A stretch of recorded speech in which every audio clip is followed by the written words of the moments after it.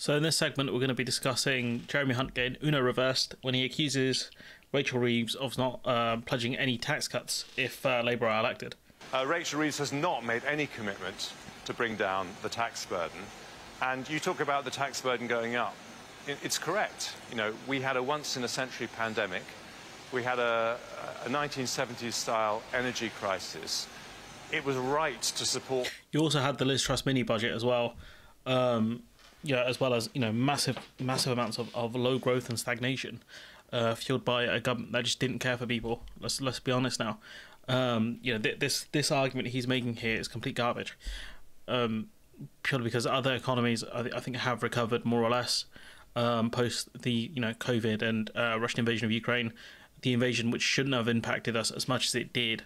Um, considering we don't actually trade as much with Russia compared to other countries, um, especially in Europe families and businesses with a temporary increase in taxes.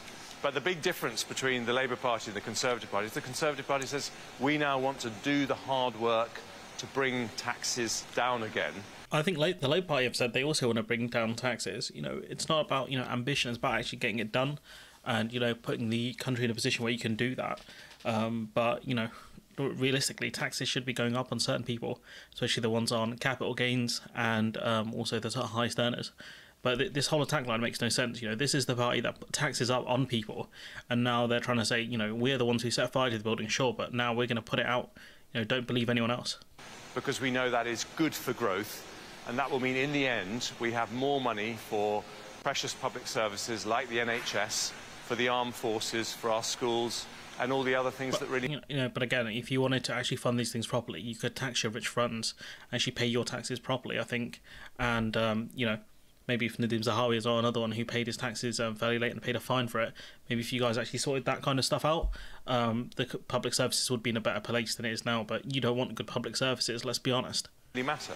So the tax burden is at about 37% at the moment. Where would it be after another five-year Conservative term? Well, I can't answer that question because um, that's, uh, you know, there are an awful lot of factors that what's, but what's that. your target? But I though? think people with, could. Would hang you on. expect, Chancellor, if, well, if Rachel tar- Reeves won't my, even talk about it, would you give us a target of where you'd like to see it? Yeah, yeah. I've said we want to bring down the tax burden. We want to. Notice he was asked, "What is your target?" He goes, "Yeah, yeah, I want to bring down the tax burden." So he doesn't answer the question. That's one of the problems here and the interviewer does an okay job, I think. But the point being is, how are you going to accuse Rachel Reeves of not committing to lowering the tax burden when you yourself also can't commit to lowering the tax burden? Because it depends on you know what you guys set with the fiscal rules and all of that stuff. So this whole argument is complete nonsense. Of they're trying to attack Labour like the the Tories are in opposition and the Labour Party are in power um, when we can see your record, mate. Like you're the one who put taxes up. It's your party that's put taxes up consistently on working class people and middle earners as well. So this whole argument that they're making here makes no sense. To accuse the other party of not committing to something which you yourself cannot commit to, it is just really bizarre.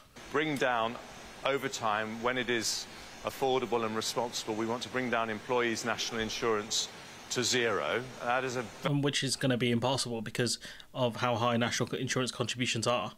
So this again, like it's just wishful thinking here. Absolutely wishful thinking, complete garbage. Um, you know, the idea that they're going to get rid of national insurance, you know, they can say we're going to commit to it and pledge to do it. They're not. There's no way the country's going to be positioned to do that. The country's barely functioning as is um, because this lot completely tanked it and won't do the good things that they need to do in order to um, actually, you know, um, actually get the economy going. Um, it's just the most ridiculous attack I think I've seen from a Tory MP of, you know, especially the Chancellor attacking the shadow chancellor of not committing to tax cuts or certain economic policy, and then this person also not being able to commit to those same policies because we don't know what the economy is going to look like. This is actually embarrassing.